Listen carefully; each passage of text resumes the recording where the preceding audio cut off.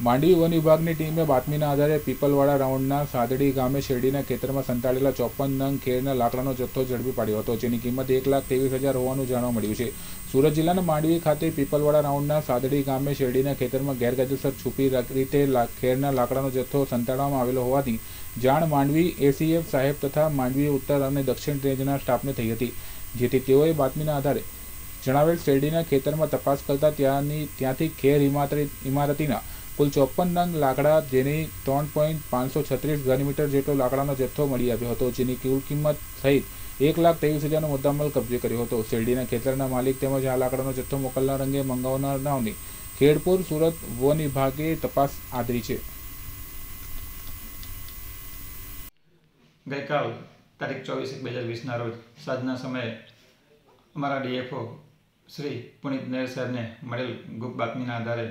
માનવી ACF Shri SC કુશળા સાહેબ તથા માનવી ઉત્તર આરેખો શ્રી કમલેશ ચૌધરી સાહેબ અને માનવી દક્ષિણ સ્ટાફ સાથે બાતમીના આધારે સાદરી ગામે રેડ કરતા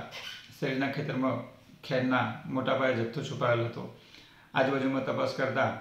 એક જ જગ્યાએથી ખેરના ચોપન નંગ જેના ત્રણ પોઈન્ટ પાંચસો ઘનમીટર અને એક લાખ ત્રીસ હજારનો મુદ્દામાલ પકડાયેલ છે. ખેતર માલિકની અને આ લાકડા ત્યાં કોને સંતાડેલા છે તપાસ કરતા આજ દિન સુધી હજુ સુધી માહિતી મળેલ નથી, પરંતુ એની તપાસ ચાલુ છે.